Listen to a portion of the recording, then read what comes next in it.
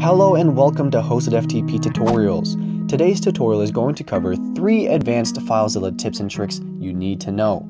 Today we're going to show you how to import and export, edit using FileZilla's interface, and logging all of your transfers. Let's begin. Importing and exporting is a simple and fast way to get anyone, like a coworker or employee, to connect to your server without them needing to understand how to use FileZilla or know your service credentials. Let's say you're the admin on the account and you want multiple coworkers to connect to your server as easily as possible. First, use the site manager to log in as the account you want to share.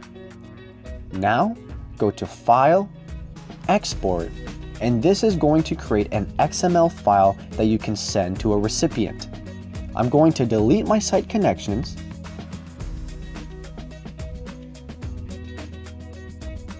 and now if someone were to import the XML file we just created, it will populate the site manager with all the site connections we exported.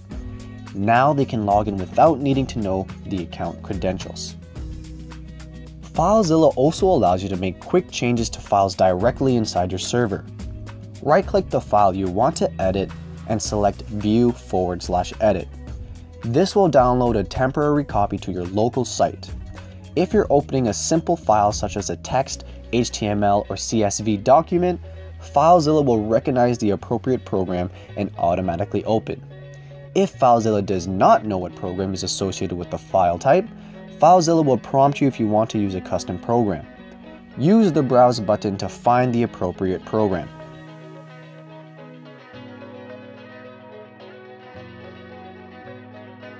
Once you make your changes, Save and close the program.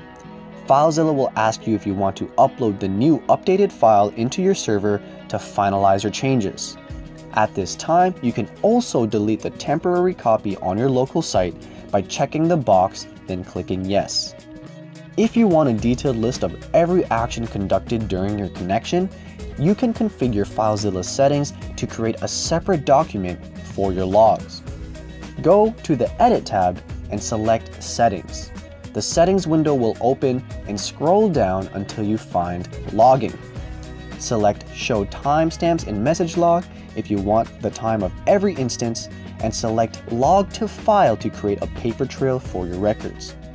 Name the file, click Browse, and choose where you want the file to appear, choose the file size limit, and press OK once you're done. Now, if you ever want to see what transfers were made and when, you can visit this file to find exactly what you're looking for. If this video was helpful, give us a like to let us know what kind of content we should continue to make and let us know what FTP client you want us to cover next. Check out www.hostedftp.com for all your FTP needs or email us at support at hostedftp.com for your business inquiries. Thank you so much for watching and on behalf of everyone here at Hosted FTP, we want to thank you for choosing us as your service provider.